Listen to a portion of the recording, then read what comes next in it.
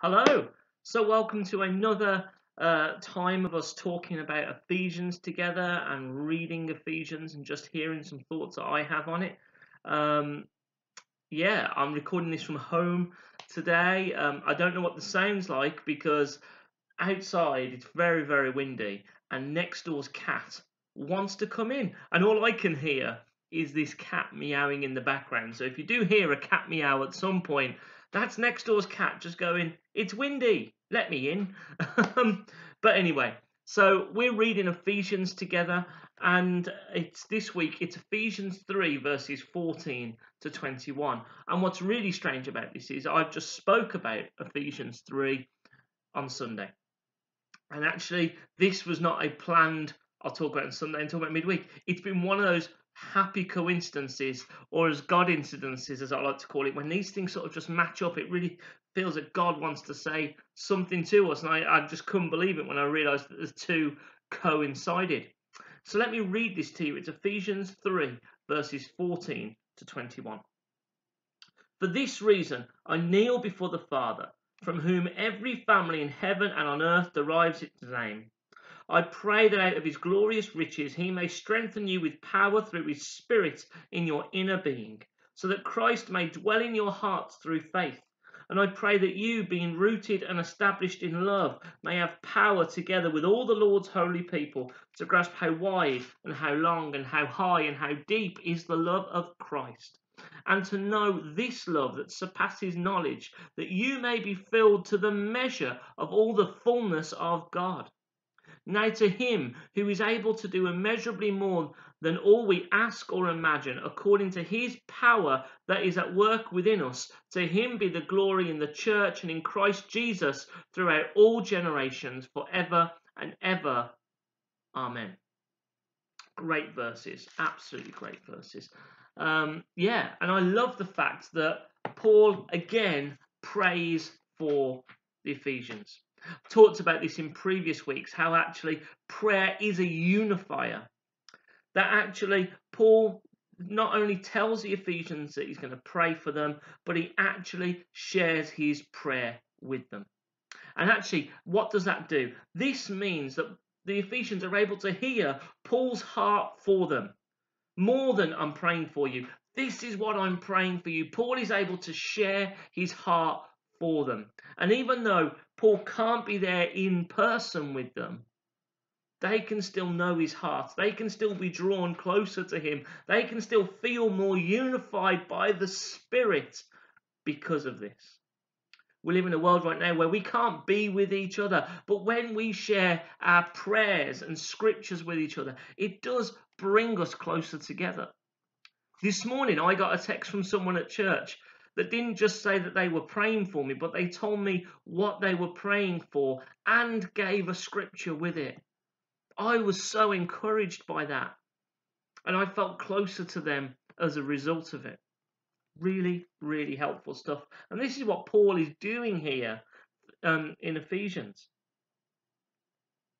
We've talked a lot about purpose and how actually we are united in purpose. We're united in what God is calling us all to do. We all have the same purpose to share the gospel of Jesus Christ with everyone, not just some people, but with everyone. And Paul's prayer for the Ephesians really helped, is like a prayer born out of equipping them to be able to share the gospel with all people.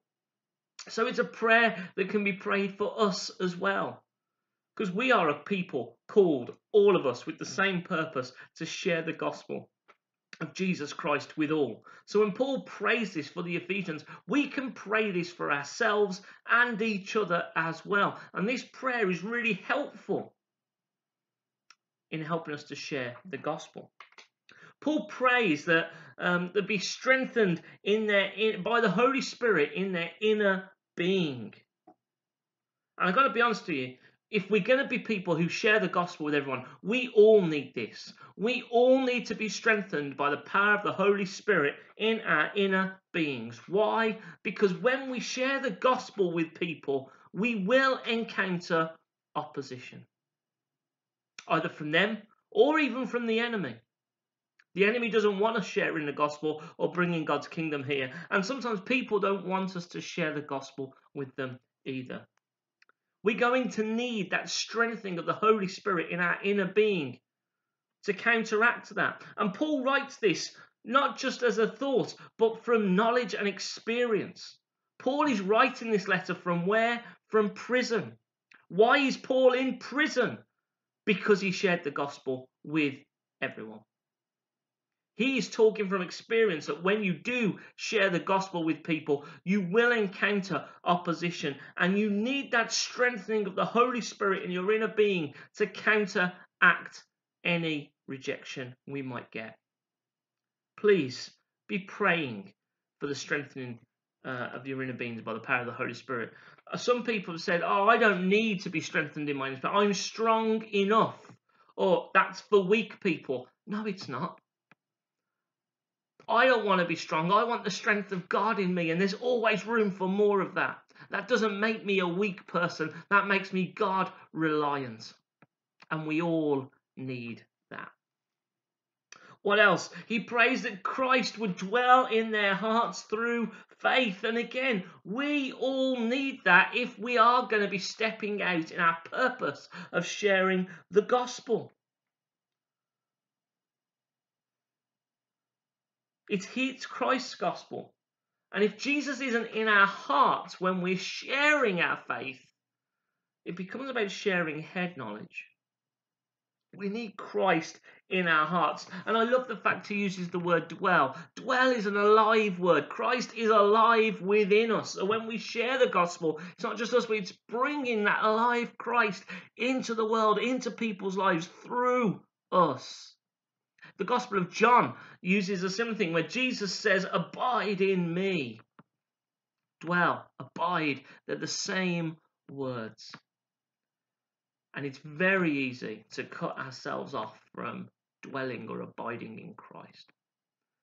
If you don't know what to pray for someone, pray that they would be a, a dwelling with Christ in their hearts through faith. Why through faith? Because we can't see him, but it doesn't mean he's not there. It's why we need that faith. We need to be praying more and more for Christ to be dwelling in each other's hearts, not just as facts in our head or a story to tell, but a living relationship with Christ in our hearts because he is alive. And then Paul goes on to talk about not only being rooted in love, but having a greater revelation of the love of Christ. Jesus is love. God is love. Christ is rooted in love. And the gospel of Jesus Christ, the good news of Jesus Christ, is rooted in what? Love. Love for all. We need to be rooted in that love, not just as a concept of something we should do, but we need to be rooted in the love of Christ. Because if we're not rooted and established in the love of Christ, we love as like a chore as something we should do. That's not what love is. The, the more I invest in my relationship with Christ and the more I realize how much He loves me, the more I realize that love isn't just for me, but for all people. That Christ, yes, He died on the cross for me as much as He died on the cross for you and for anyone.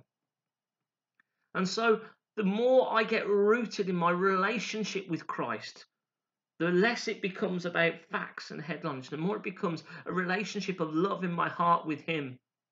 And so, the greater revelation of how high and how wide and how long and how deep the love of Christ is not only for me, but for all people through my relationship with Christ. The more I share the gospel with people, not because I should, but simply because I can, because I know it's the best news ever. It's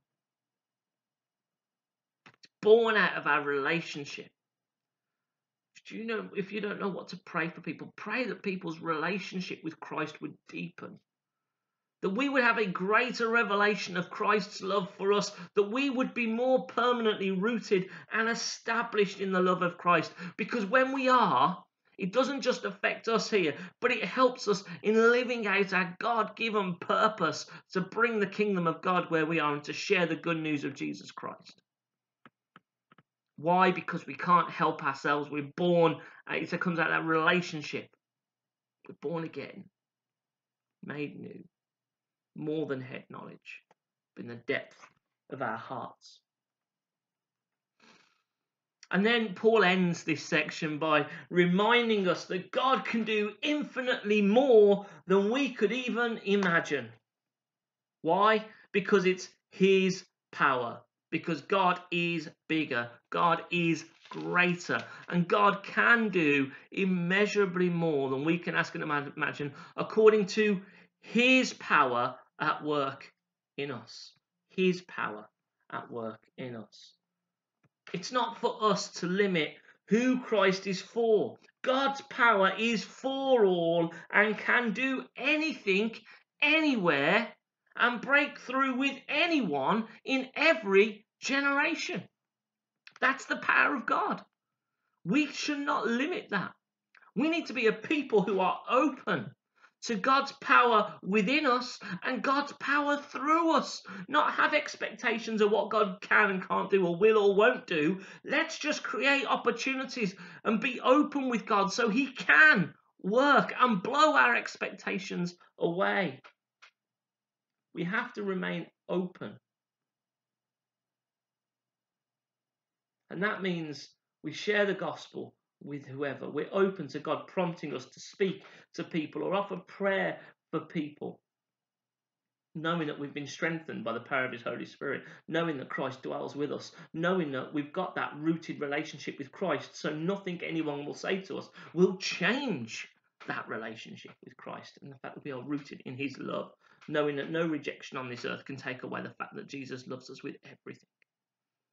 And when we openly step out like this, we will see God's kingdom brought here. We will see God do immeasurably more than we can imagine. What a prayer that Paul prays here for the Ephesians. And it's a prayer that we can all experience. If you never know what to pray for people, pray this open up your Bible, turn to Ephesians 3 14 to 21, and pray that prayer for people and tell people you're praying that. It's a prayer that unifies us, it's a prayer that brings us closer together, it's a prayer that impassions and emboldens and sees the purposes of God filled out through the body of Christ, bringing us all together. If you never know what to pray for me, pray that. I would love it but it's a prayer that brings us all closer together. So, wherever you are, stay safe, wash your hands, follow the government guidelines, and I cannot wait to start to see you all really soon.